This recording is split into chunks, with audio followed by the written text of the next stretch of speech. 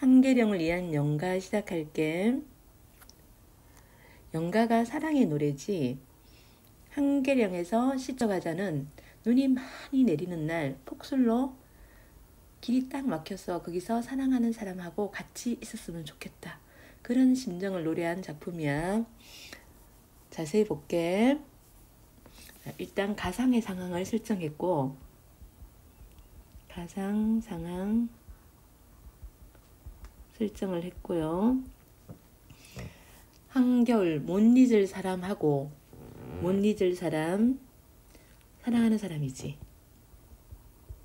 사랑하는 사람 하고 한계령좀 넘다가 이 한계령이 사랑과 운명의 공간이야. 사랑과 운명의 공간이고 뜻밖의 폭설을 만나고 싶다. 뜻밖의 폭설. 자, 이 뜻밖의 폭설은 만나고 싶다잖아. 그러면 긍정적 의미지. 긍정적 의미고 한계령에서 폭설 만나는 게 사실은 현실 상황에서 보면 전혀 긍정적인 건 아니지, 그지? 그러니까 상황은 역설적 상황이야. 역설적이고 어떤 마음을 사랑하는 사람과 사랑하는 사람과 오래 같이 있고 싶다는 오래 같이 있고 싶다는 소망이 드러나 있는 거야. 뉴스는 다투어 수십 년 만에 풍요를 알리고 풍요 이게 뭐니? 원관념이 폭설이잖아. 원관념이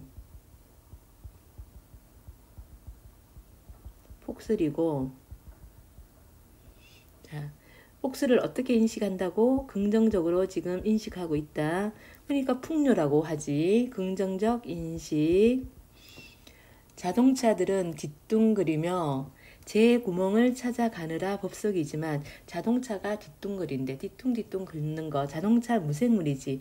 무생물을 뒤뚱거린다 생물처럼 표현하는 비유법은 환류법. 한류법이 사용되어 있고 제 구멍을 찾아가느라 법석이지만 제 구멍 어디를? 목적지를. 지금 폭설이 많이 내린 한계령에서 차들이 천천히 가는 거야.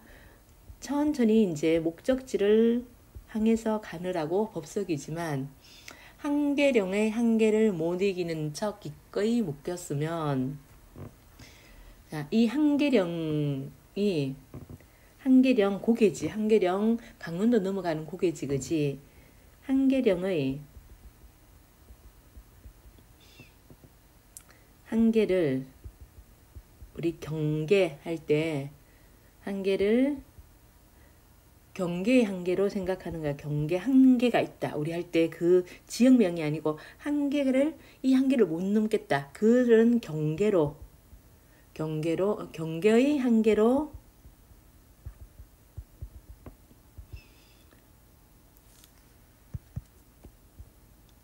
한계로 생각을 하는 것이고 이거 이제 어떻게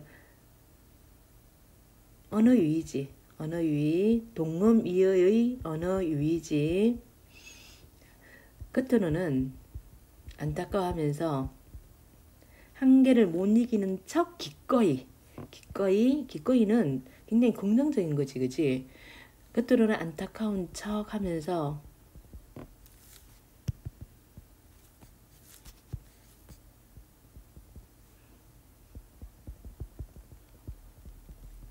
내심은 반가운 거야. 내심은 지금 어, 묶었으니, 묶였으니까 여기서 오도 가도 못하고 어떻게 하면서 사랑하는 사람과 오래 있어가지고 너무 좋은 거야. 세상을 잊고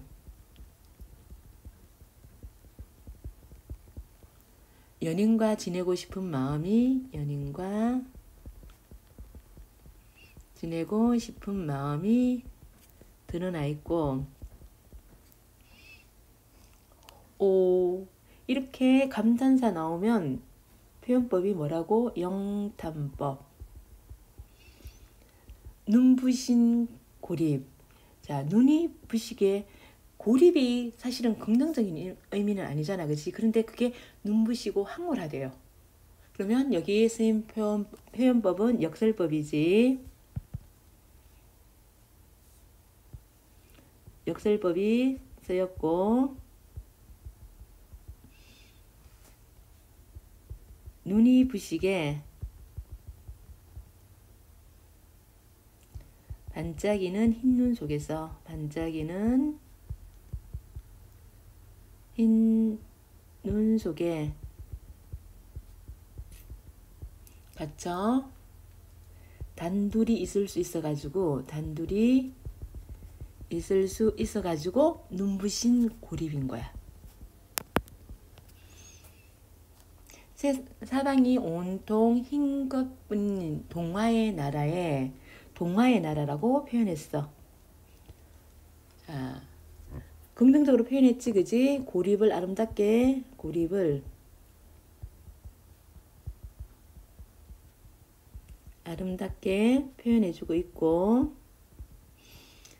발이 아니라 운명이 묶였으면, 여기서 발은요, 발이 묶였다 그러지, 그지? 물리적 고립이야. 오로 가, 오도 가도 못하는 물리적 고립이고요.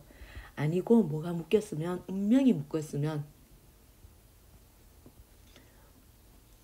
운명적 사랑에 대한 간절함이야. 운명적 사랑에 대한 간절함. 운명이 묶였으면 하고 좋겠다. 이런 뒤에 완결된 문장이 아니지, 그지? 미안의 문장 종결 방식을 사용했고 미안의 문장 종결 방식을 사용해서 여운을 주고 있습니다. 이었고 자 이었고 부사어 시간이 경과한 거지 시간의 경과고요.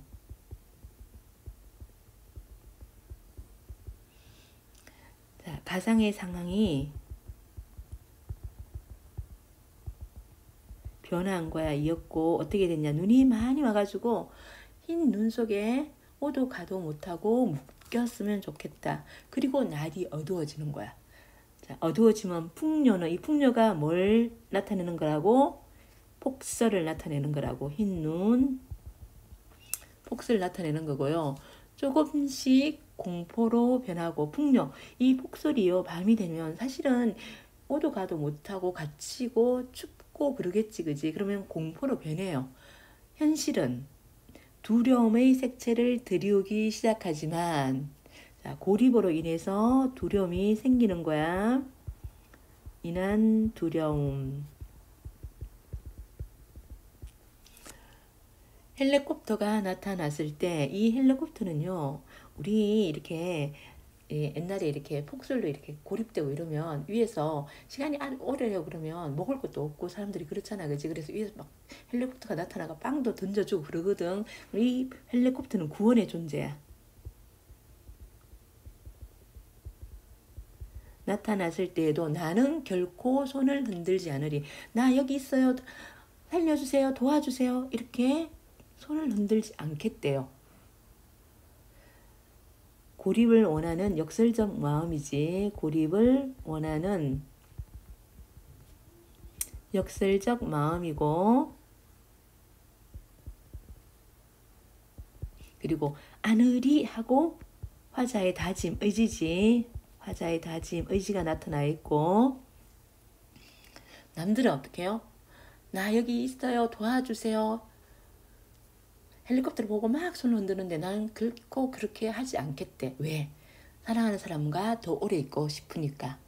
헬리콥터가 눈 속에 갇힌 야생 조류들과 야생 조들과 짐승을 위해 골고루 먹이를 뿌릴 때에도 자, 이 헬리콥터는 지금 산 생명을 구하는 도구야. 살아있는 생명을 구하는 도구고 여기서는 긍정적 기능을 해. 짐승들을 위해 골고루 먹이를 뿌릴 때에도 점점점 자, 미안의 문장 종결이다. 미완의 문장 종결로 하자의 다짐이 하자의 다짐이 뿌릴 때에도 어떻게 요 나는 손을 흔들지 않겠다는 그 의지겠지 그지? 하자의 다짐이 영혼 속에서 이렇게 생략법 이게 생략법이지. 생략법을 사용하면 영혼이 형성돼요. 영혼 속에서 잔잔하게 전달하는 그런 기능을 합니다. 시퍼렇게 살아있는 젊은 심장을 향해 까만 포탄을 뿌려대던 헬리콥터들이 고난이나 꽁들의 일용할 양식을 위해 자, 헬리콥터가 여기서는 지금 산생명을 구하는 도구, 긍정적인 기능을 으로 인식되지만 옛날에는 데모라 데모 같은 걸 하면 위에서 폭탄을 막 떨어뜨리는 그런 도구였거든. 그래서 여기는 시퍼렇게 살아있는 젊은 심장을 향해 까만 이런 건 다 색채 이미지가 나타나 있지. 자, 폭탄을 뿌려대던 헬리콥터야. 그러면 물질 문명에 대한 비판도 들어가 있는 거야. 물질 문명에 대한 비판 위의 구절과 달리 여기는 헬리콥터의 부정적 기능이지. 부정적 기능이고 민중의 자유를 탄압하는 그런 도구였어. 민중의 자유 탄압. 그런 헬리콥터가 고난이나 꽁들의 일용할 양식을 위해 자비롭게 골고루 먹이를 뿌릴 때에도 나는 결코 옷자락을 보이지 않으리. 나 여기 있어요 하면서 나를 드러내지 않겠다. 왜? 구조가 된다면, 구조가 된다면 사랑한 사람과 더 오래 있지 못하겠지, 그지? 생존에 대한 절박함보다 생존에 대한 절박함보다 사랑하는 사람과의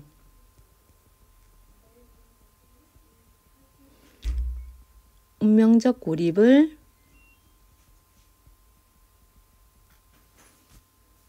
택하고 싶은 거야. 택하고 싶은 간절함.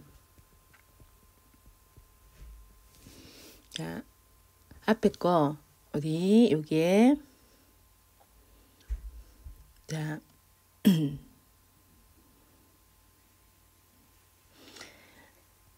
나는 결코 손을 흔들지 않으리. 요 부분 여기를 갖다가 나는 결코 옷자락을 보이지 않으리 하면서 요, 요 부분을 약간 바뀌어서 바꿔서 표현했지. 변주고요.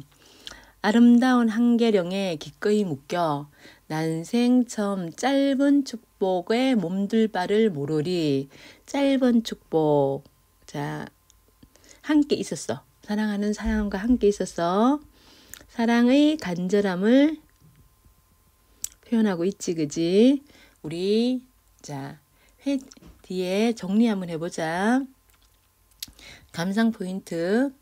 자, 이 작품은요, 누구랑 사랑하는 사람과 한겨울 어디에서 한계령에서 폭스를 만났어. 폭스를 만나 고립되는 그런 상황을 상상하는 거야. 상상을 통해 사랑의 간절함을 드러내고 있는 시야. 여기서 고립은 일반적이고 현실적인 속박이 아니야. 아니고 운명적이고 낭만적인 것이야. 운명적이고 낭, 낭만적인 것으로 그려진다. 그래서 역설적 표현이지. 고립 상태에서 날이 어두워지고 두려움이 밀려오 더라고 오더라도 음, 오타 났다. 화자는 결코 구원의 손길을 내밀지 않겠다는 의지를 드러내고 있어. 드러내며 사랑하는 사람과 완전한 고립을 소망하고 있어요. 이는 화자가 고립된 상황을 적극적으로 수용할 만큼 사랑의 완성을 간절하게 바라고 있음을 역설적으로 드러내주고 있는 것이고요. 자, 이 시의 주제는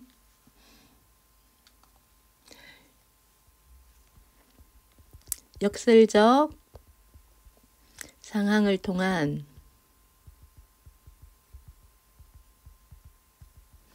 사랑의 간절함, 사랑의 간절함이 이 시의 주제고요. 핵심 정리 1년은요.